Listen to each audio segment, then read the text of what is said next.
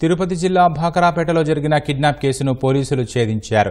స్థానిక ఊర్జా హోటల్ వద్ద అనుమానాస్పదంగా తిరుగుతున్న నిందితులను అదుపులోకి తీసుకోవడంతో కిడ్నాప్ విషయం వెలుగులోకి వచ్చింది.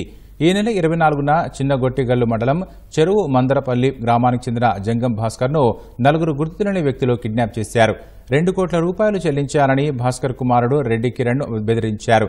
బాధితుడి ఫిర్యాదు మేరకు పోలీసులు నిందితులను అరెస్టు చేశారు. వీళ్ళు నలుగురు వ్యక్తులు కలిసి చాలా కాలంగా అతని మీద అబ్జర్వేషన్ ఉంచి అతన్ని కిడ్నాప్ చేయాలి అనే ఒక ఆలోచనతో ఒక డమ్మీ పిస్టల్ తీసుకెళ్ళి అతన్ని బెదిరించి వాళ్ళ కారులో ఎక్కించుకొని దూరంగా తీసుకెళ్ళి కొన్ని ఇంజక్షన్లు కూడా అతని మీద ప్రయోగించారు.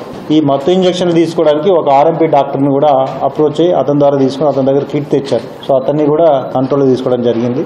తర్వాత మా టీం అందరూ కలిసి వారిని ట్రేస్ చేసి పట్టుకోవడానికి పోయినప్పుడు వాళ్ళు ఈవెన్ పోలీస్ జీప్ తగిలించి వాళ్ళ వెహికల్ తగిలించి పారిపోతుండగా మళ్ళీ సరౌండ్ చేసి కష్టపడి వీళ్ళందరినీ అతన్ని సేవ్ చేస్తూ పట్టుకోవడం జరిగింది.